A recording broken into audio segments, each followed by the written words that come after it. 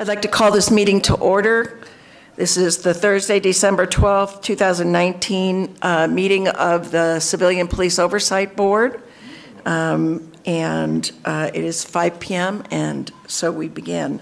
Um, My name is Joanne Fine, and I am Vice Chair um, of this board. The Chair is not here this evening, um, and I am running the meeting in her place. We do have a quorum, um, four positions out of the um, seats that are filled, Um, and so we do have a quorum, and we will proceed. The mission statement of the uh, police, uh, of the Civilian Police Oversight Agency is advancing constitutional policing and accountability for APD and the Albuquerque community. Uh, Public comments. We don't have any public comments. This is working out really great so far.